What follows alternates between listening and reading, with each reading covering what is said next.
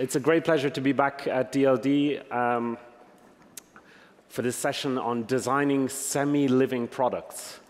And uh, this is really the second in a, in a series of conversations. Um, Steffi uh, mentioned that uh, I am uh, leading the project to develop a new life sciences museum and forum for Munich and for Bavaria, which will be at the wonderful location of Schloss Nymphenburg. Have any of you been to Schloss Nymphenburg? Okay, that's, uh, that's good. So um, we hope that you will come back to experience uh, a new vision of what life sciences can be. And um, Craig Venter has described the 21st century as the biological century. So what, what could a museum for that century look like? Um, well, the first, century, uh, the first conversation that we had was back in January. We had Paola Antonelli of MoMA, and we had Daisy Ginsberg, uh, founder of Synthetic Aesthetics and uh, from the Royal College of Art in London, uh, exploring uh, uh, design and life sciences. Um, and uh, today we have two leading lights, two, two of the people who inspire me the most uh, in the world uh, around manipulating life in creative ways. And these are Oron Catts, who is the founder of Symbiotica in the University of Western Australia, which is an extraordinary uh, program where artists and designers get to work with biological materials uh, in laboratory settings. And we'll hear a lot more about that in a moment from Oron. Uh, and then we will be joined in our panel by Ellen Jorgensen, co-founder of GenSpace uh, in Brooklyn, uh, which is a, another extraordinary uh, space uh, which uh, invites people and the public in to do DIY biology and to get their hands on the new tools that are available to us, including CRISPR, which we've been hearing about from Ellen in her CRISPR workshop just now. Um, so I, we see these conversations as a way of seeding the ideas for this new museum in Nymphenburg. How can we uh, create a new way for people to connect with life sciences, to con connect with the key environmental issues for our time? Uh, how can we create a new place where people will come to discuss our concerns and opportunities around uh, new technologies allowing us to manipulate life? Um, so I would like to first of all introduce Oron Catts uh, to tell us what is a semi-living product? So Oron, over to you. Thanks. Thanks, Michael John. It's great to be here. And uh, uh, just to put in context, I just arrived very early this morning from Stockholm, uh, where I was involved in a very critical cultural theory conference. So I'm just trying to adjust. It's worse than being in a jet lag. It's actually uh, mindsets that uh, we need to get our heads around. Um, so where are we now? What are we dealing with? Uh, we're dealing with a really interesting situation, and I think today you heard quite a lot of things that can come together in this idea that technology is becoming more lifelike. Uh, you think about uh, driverless cars or killer drones. We, we give technology the autonomy to make decisions of life and death at the very same time that we are trying to assert our control over already existing autonomous systems, and those are living systems. So what does it mean to do those kind of things? What does it mean to work with technology, which on the one hand makes, becomes more and more like life, and making life more and more like technology? Those are questions that I've been asking myself for at least 20 years now. So I was studying design in the early 90s, and I came across with this image. How many of you remember seeing it for the first time? Yeah. How many have seen it just now for the first time? Really? Well, 20 years ago, actually 20 years and uh, nine months ago exactly, in a BBC documentary, this image appeared on the television screens. This is, for me, the surrealist dream comes alive, but it also presented something which is really interesting, and that's our ability, or at least our mindset of our ability to try and control living systems to such an extent that we can bring those things, those monsters, to life. That was a scientific project that was representing a technology that was just starting at a time called tissue engineering. And tissue engineering as a mindset is a really important shift in the way we're thinking about bodies and biology and technology. So this slide over here, it's actually from 1989. That's how we imagined we're going to repair our bodies. Yeah, so very hard, dry, mechanical engineering type of approach to replace bit by bit the body with machines. 10 years later, 1999, everything changed. Suddenly, there was this understanding that we might, in one day in the future, be able to harness those latent regenerative powers of our bodies to regrow body spare parts. Now, interesting enough, the kind of discussion that we had 20 years ago is almost identical to the kind of discussion that we hear now with the same timescales of when things are going to happen. So in 1995, an international consortium of scientists set up on an initiative to try and grow a heart, a fully functional heart, outside of the body, and they gave themselves 10 years to do it. We obviously, 20 years later, we're not even close to do it, but as a mindset, as an understanding of how we're going to look at living biological systems, it was a really important moment. Now, for me as a designer, I was actually really interested in reversing the logic. Yeah? So if in 1989 we were told that we can replace the heart with a pump, in 1999 or in 1995 we were told we can actually grow hearts, my question was why not grow pumps? Why not use this technology of tissue engineering? And this is how it was at the very beginning, where you basically start with a three-dimensional scaffold of the desired shape of the organ you're trying to replace you seed it with the appropriate cells, you grow it in vitro, you grow it outside of the body for a while, and then you put it into the body. So my thing was, forget about putting it back into the body. How about designing living biological systems that are functional, that can operate outside of the body in the same way that, let's say, the pump can operate? As I was researching it, I was writing my thesis, which was about this basically a speculative design project looking at the future in which bio, uh, design and biotechnology might come together. Uh, at the time, I was uh, basically trying to figure out what was the best of the technology, and that was growing skin for burn patients. I was actually looking at uh, many different alternatives of growing surfaces, things like uh, bacterial cellulose and biomats. I was even trying to imagine if we can engineer and, uh, plants to basically grow huge leaves so we can actually cover our domestic environment with something which is living. Because for me, I was thinking maybe if we change our culture from manufacturing to growing and make our domestic products and our objects and the made environment more like a forest, more like a garden, maybe we would solve some problems. But at the very same time, I realized that there might be a flip side for that. And the flip side is if we're starting to treat life as a raw material, something to be engineered, maybe we would lose this kind of connection to life. Now, being a materialist, it's something that bothered me because I felt that there's a special place for life, but I couldn't really articulate it without resorting to metaphysical ideas. And the last 20 years of my life are devoted to this exploration. Is there something special about life? What happens when life becomes a raw material to be engineered? And I developed this project called the Tissue Culture and Art Project because I actually realized that those questions are better be asked by an artist rather than a designer. I was interested in actually looking at the problems and the questions rather than the solutions that might come in the future. So I started by growing skin with my collaborator Ionat Zurr over a different class, type of glass figurines. At the time, I couldn't even imagine that I'll be able to get what I'm growing in the lab because actually I knocked on the door of a scientist and surprisingly she got me into the lab and I started working with tissue engineering as a designer and as an artist. Uh, but I only thought that I could kind of represent it in different ways, and those were the very early works, which might be seductive, but they didn't really work for me very well. And then in the year 2000, Jonathan and myself were invited to be research fellows in Harvard Medical School, where we started to work with the top technologies of tissue engineering, and we started to develop tissue engineered sculptures, or as we started to refer to them, semi living products and semi living sculptures. So the very first semi living sculptures that we were able to present live in a cultural context where our semi-living worry dolls, we set up a fully functioning uh, laboratory at the foyer of the Bruckner House in Linz as part of Ars Electronica, where we grown those tiny dolls, and we asked people to express those worries to the dolls. So they were made out of living tissue, and they were growing live in the gallery as a way to try and induce people to express their concerns uh, around the future of life. What we didn't realize is that people actually projected those Eh, eh, magical powers and people actually express the most intimate worries and concerns. So the next project we've done was looking at those unfulfilled promises and the hype. And actually now we find ourselves in a really similar situation where the hype cycle of biotechnology takes us to such places that we actually believe that pigs could fly one day.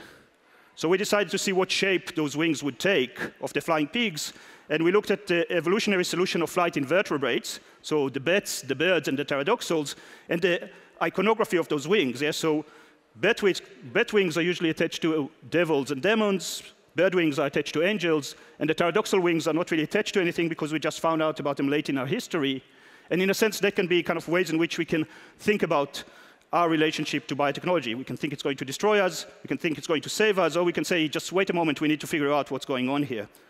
And interesting enough, that was also the first project that we introduced 3D printing techniques to the lab in Harvard to 3D print those wings and then make them out of the polymer and grow them in bioreactors uh, in three dimensions. Actually, at the time, there were some of the biggest tissue engineered constructs ever to be grown in the lab, but they were still very small.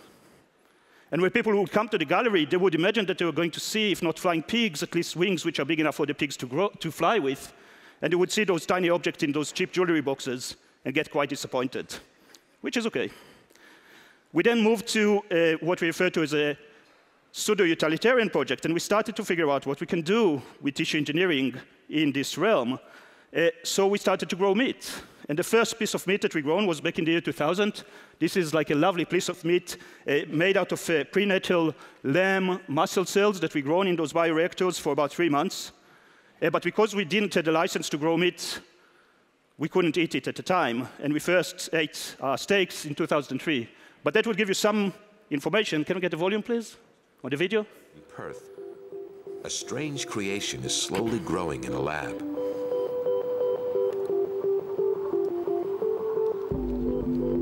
Oron Catts works in the Biological Sciences Department.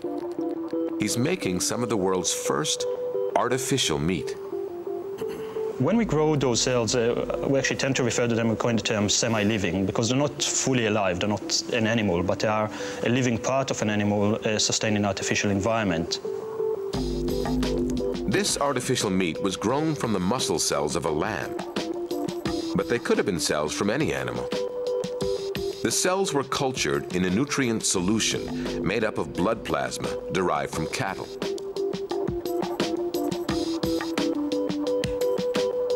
The muscle cell cultures are grown in a microgravity bioreactor, which constantly rotates the meat so it grows in three dimensions. Without this motion, the meat would be flat, only a few cells thick. But there's another problem to overcome if the lab-grown meat is ever to mimic the real thing. There is research which is being taken place at the moment in trying to find ways in which you can exercise those muscle cells so they would align and have a more of a muscle-like texture. And there's two ways that can be done. One is by electrically uh, stimulating those cells, or the second way is to try and exercise them physically, trying to build tiny exercise machines, tiny gyms for those cells uh, to grow and, and that's what we super gourmet. Actually, we have. We're, uh, we're not able to do it when we've done our first uh, eating experiment back in 2003. Uh, that was in an exhibition in Nantes, in France, in an art exhibition called L'Art Biotech, where we were able to actually build a fully functioning lab in the gallery with a dining room with brand new equipment, so we won't contaminate it with uh, any other thing. We also went and rescued two frogs from the edible frog distributor in town, and this is kind of the first time that anyone ate a piece of in vitro meat, and that was 2003. Uh, unfortunately, the Americans decided to invade Iraq around the same time, so no one was really interested in uh, a bunch of artists uh, eating frog steaks. Now, the reason why we chose to grow frog was also because we're interested in what constitutes foul food. We knew that French people don't like the idea of engineered food very much, and most other people don't like the idea of eating frogs very much. So we combined those two things, and we created uh, semi-living frog steaks. Now, you will see someone trying to eat it. The problem with um, our meat was that the polymer we grown it on, which was like felt, didn't degrade completely. And as you heard in the video, we didn't exercise them, so the texture of the muscle cells was very much like jelly. So the sauce was really good. I was quite concerned about health and safety issues, so I asked the chef to cook it, cook it in a honey and garlic sauce, but the texture was quite horrible. And three out of the six people that joined us for the dinner spat those bits out, which for me as an artist was a great thing because I could collect them and show them in the follow-up exhibition called The Remains of Disembodied Cuisine, where we had a video documentation of the event, plus the bits that were spat out by the people who didn't like that. And I thought that that was the end of my engagement with in vitro meat, but obviously quite a few would know that about uh, three years ago, a Dutch scientist called uh, Mark Post claimed to grow the first in vitro burger. And I had to revisit those issues and look at the future of food. So just recently in the Science Gallery in Dublin, I had this piece in collaboration with uh, Ionat again and uh, Robert Foster, where we're looking at taking those solutions to extremes. So we know about the issues around contemporary modes of meat production. We know about some of the predictions in regard to the future of protein consumption. So we're being offered the possibility of eating lab-grown meat, and we're also being offered the opportunity to eat insects. So in this case, we decided to create this domestic bioreactor that creates an in vitro insect soup. Because one thing which is usually being neglected is the discussion around the fact that you need to feed the cells. And you need to feed the cells in highly nutrient solution. And in this case, this domestic product that sits on the table is being shadowed by this dark cloud of nutrients that floating above it, uh, feeding the insect cells for the creation of this in vitro insect soup. Uh, although something else quite interesting happened to us, and this experiment got contaminated with fungi, so it ended up being a mushroom soup more than an insect soup. We then moved to leather, because obviously after you do meat, you need to deal with leather. And we grown our first in vitro leather back in 2003 and 2004, and this is some experiments that we've done around it. But we decided to present it as this tiny jacket that is grown inside this technological body. And that was uh, first shown in Perth in 2004, but then in 2008 we showed it at the Design and the Elastic Mind show in MoMA in New York. Uh, but at that time we decided to use mouse embryonic stem cells rather than the usual mixture that we've done between human and mouse cells. And those cells grew so fast that they sheared off the polymer structure and started to travel around this, uh, the system and clogged it uh, to such an extent that it grew out of control. And Paola Antonelli, from last year, was supposed, uh, basically had to turn it off halfway through the exhibition, which from, our perspective actually generated quite a lot of interesting discussion. So those of you who know about the Design Elastic Mind know that it was a fairly optimistic show talking about the future in which designers and artists would work with scientists and technologies and would figure out a way to get us out of this mess that we're in. But the only living thing out of 250 works in the show had to be turned off halfway through the show and generate those types of headlines. And from our perspective, that was the success of the piece. Now, 20 years later, suddenly things are changing quite a lot. So the project that I was looking at, this Im imaginary future in which design and biotechnology might come together, is actually coming together now through things like Biofabricate. We're hearing more and more about this idea of biotechnological consumer products. And we have companies like Modern Meadow and others that are now trying to grow meat and leather. Modern, Modern Meadow actually received more than $20 million in venture capital money to try and grow leather and meat. And last year, there was history because I was able to eat in vitro meat for the second time. And that was the in vitro meat chips that are produced by Modern Meadow, who claim to do leather and meat better.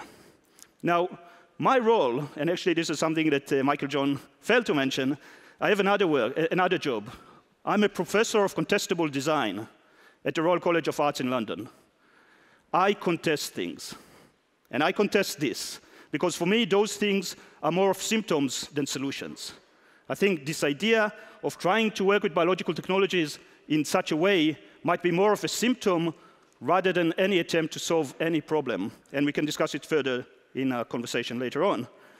Um, but another thing that I've done, and this is something that I'm doing quite a lot recently, but this is something that I started 16 years ago, is setting up laboratories for artists and designers to engage with the tools of modern biology in an agenda-free environment. When I started working as an artist and as a designer in a science lab, I constantly asked for favors. I constantly had to do things in return, and I was sick and tired of that. So I decided to set up my own laboratory, which became a research center at the University of Western Australia. We're based in the biological science department, but we have full autonomy to do our artistic and design research. And we are the people who drive the agenda of this research. And I'm now, one of the things I'm doing at the Royal College of Arts in London is trying to help them to set up a similar laboratory within an art school. Because what we're interested are very different questions. We're interested in exploring those philosophical and questions around our shifting relationship to life. We believe that actually, first, before we can do those kind of things to life, we have to understand what the hell we're doing. We have to develop a new cultural language to engage with those new approaches to life. We, but saying that, through the move of biology from a field of science to a field of engineering, through the creation of life uh, as into a raw material to be engineered, there's also a new palette of possibilities. So we identify those new materials for artistic and design manipulation. And we research strategies of what it means to take those things out of the context of the lab and put them within a cultural context. And I think, again, this is something we'll discuss later.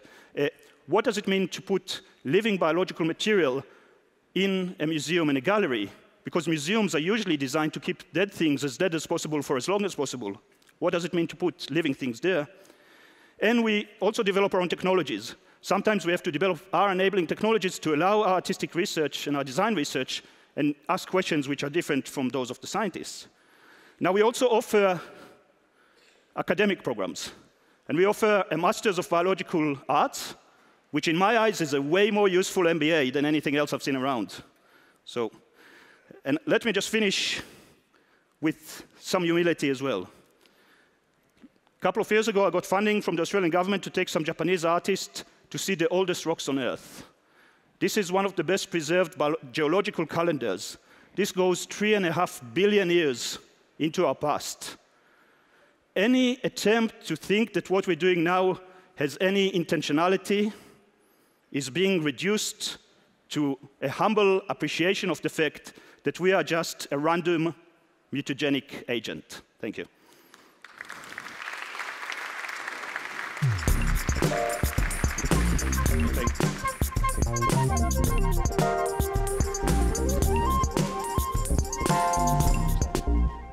Thank you so much, Oron. And um, what an inspiring talk.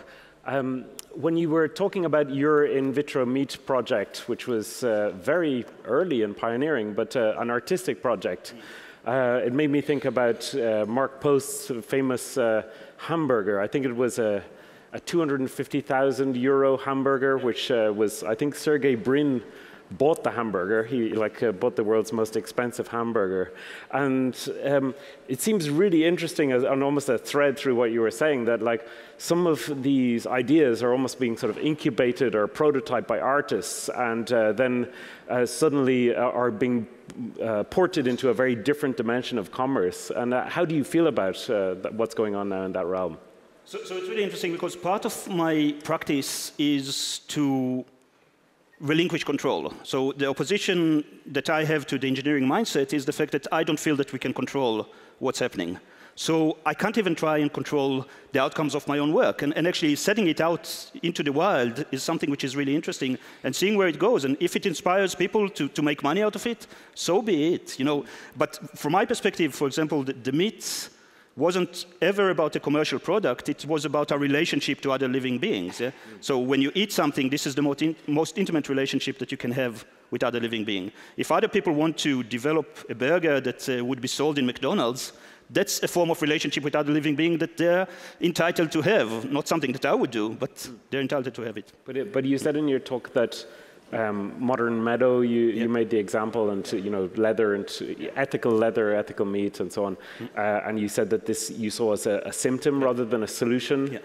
Um, wh what's wrong with it? Okay, when you work in the lab, how, how many of you worked in labs, in biological labs? you know the amount of waste that you have. You know the amount of uh, effort that you need to put into separating the life form that you're working with from any other life form in the world. When you think about those types of issues, and when you think about upscaling biological systems, I suppose the best example we can think about is, is industrial farms, yeah? where we grow only cows, only in one space. They're not going to solve any environmental issue, they're actually causing more environmental issues. Mm. So I think we need to start to think about, and something we can learn from biology is actually quite interesting. Now we're trying to impose a 20th century engineering mindset over biological systems. Mm. But I think what we need to do is actually, rather than industrialize biology, biologize industry and start to think of, about our industry more like forests and ecosystems rather than monocultures. Yeah. Good. And uh, I mean, uh, some of the points you made about uh, hype around some of these new technologies also connect strongly, I think, with what Ellen was saying in her workshop on CRISPR uh, and you know the, the vast potentials that are envisaged for these technologies. Um, uh, do you, uh, you, know? Do you see a role for you, yourselves uh, in um, you know finding a way through the hype around new new technologies relating to life? Maybe Ellen, to hear your thoughts. Well, it's very difficult to predict sometimes. We were talking about that as well. What is going to turn out to be hype and what's going to turn out to be reality? And we've had some interesting instances of artists kind of predicting what was going to be possible in areas like um, being able to tell what a person's face looks like through their just their DNA sequence. That's right. Yeah, that we Hamburg, which is really interesting, although here is another issue, because I think, so, so this is a reference to an artist that uh, uh, claimed to be able to isolate some characteristics uh, through DNA that she found on chewing gums and cigarette butts. Uh, she picked off yeah. sa samples yeah. up, up off the streets of New York mm. and did some DNA analysis and then printed 3D facial portraits of people she'd never met. And sometimes they were uncannily accurate. I, would debate that. But you know what's really interesting, that, because what she told me was she was approached by forensic companies and by companies that basically her work was initially a critique or, or a way of questioning this whole notion of genetic surveillance, only becoming this, you know, as you mentioned with our work as well, basically promoting the very same thing that she was questioning. Yes. But in a sense, predicting it at the very same time. So, you, you know, which I suppose talks volumes about the, the role that non-agenda driven, curiosity-based, non-utilitarian research plays and how it can later down the track might be used. But we should allow, and this is something that we're losing in our world, this notion of non-utilitarian curiosity-based research, open-ended questions that can be dealt with in, in, ways which are not the usual ways that we're now thinking about outcome-based research. Yeah. But it, it's interesting to me that both of you, I mean, you, you with GenSpace in Brooklyn and you, Oron, with Symbiotica and now, now in the RCA, uh, you are both creating uh, these uh, hybrid spaces, if you like, which are non-traditional spaces where you have different tools, you have different actors engaging with these materials, uh, and um, I suppose to some extent, you mentioned Science Gallery, which I, have been involved with in Ireland and elsewhere. Uh, also, this space, which is not, not a traditional space for, for science, for research, but which is involving the public or involving artists and designers. And um, I, I, suppose we, we tend to think of sort of uh, new bio, biotech being developed in large industrial labs or large university research labs, but uh, you know, to what extent is that, is that being challenged now with these new types of spaces? Well, at GenSpace, we challenge it every day. We, we try to keep our facilities open at a very low price point for people that might have an idea that they want to explore. And we have certain safety considerations as to what level of organism they can work with. So um, we control that. But aside from that, we don't really control anything else. So um, we've got people working on industrial projects with organisms that are um, naturally occurring.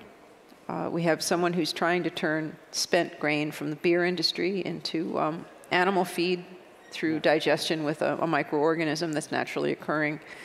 And then we do have people that are trying to make new materials by doing genetic engineering on, um, on, on, products of living organisms, like bacterial cellulose, for example. Yeah.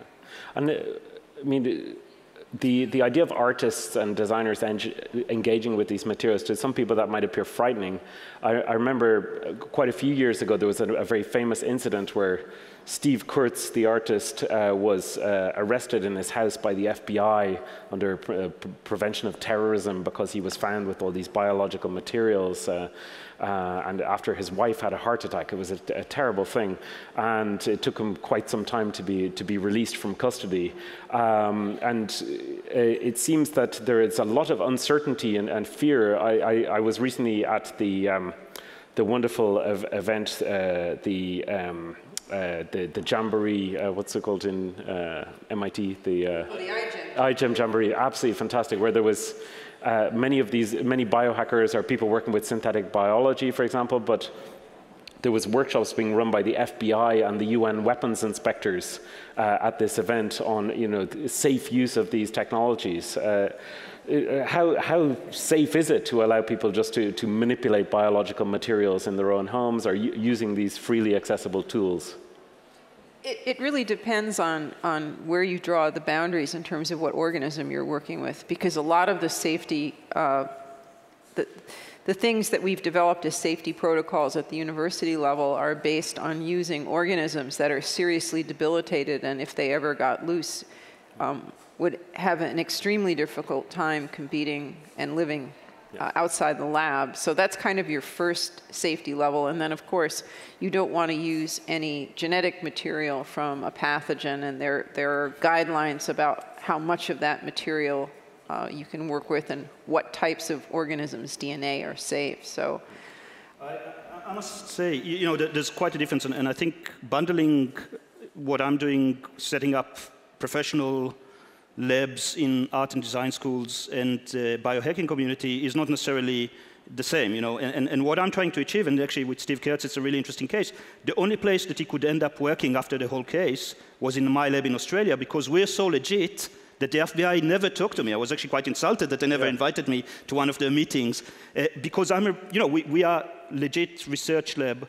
Um, and the same way that you wouldn't question what do biolabs have to do with engineering departments, and many of those biolabs that actually I'm going to visit are in engineering departments rather than biology departments. And engineers are known, actually there was a paper from Harvard that actually said that engineers are more inclined towards fundamental views.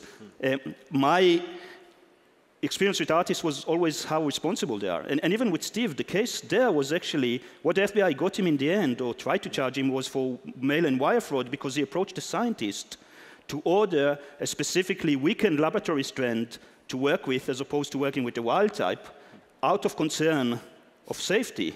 And that was then, and because he used the internet and because he used the mail to ship those bacteria from the university uh, where the scientists worked to his university, that was what the FBI was trying to get him because actually he was doing it in a safe way. So I don't think that any artist want to kill his audience, but we know for sure that our governments are paying money to scientists and engineers to do black research that's designed specifically to kill people. I would be more concerned about them. I wouldn't be concerned about artists. Thanks. Um, I'm going to open it up shortly to the audience uh, for a couple of questions. We don't have a huge amount of time, but just one uh, last question for you both, really, before we do that, is that, uh, as was mentioned, we are uh, ideating this new space uh, to explore life sciences here in Munich. Um, and you know, if each of you had maybe one idea for something that we should definitely include in that, what, what would it be? Um, maybe I'll start with you, Ellen, and then Oron.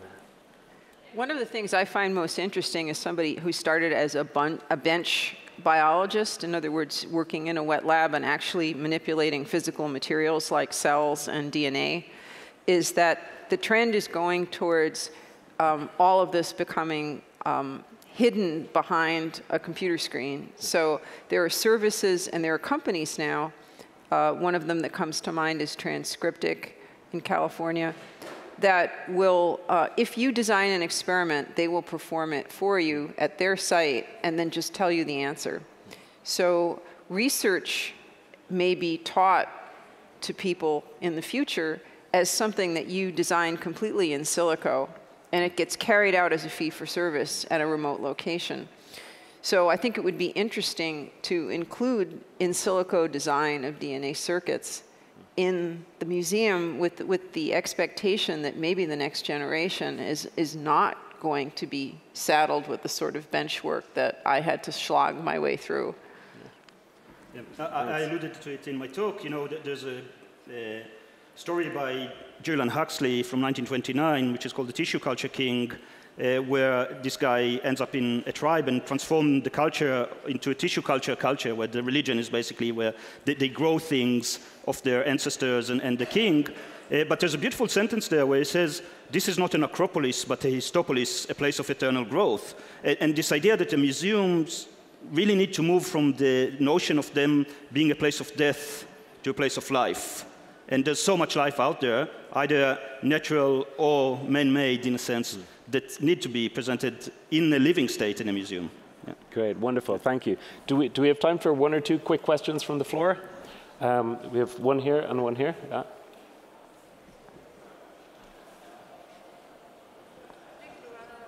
Oh, we, oh, that's too bad. Mm. Okay, we've run out of time. Well, I would.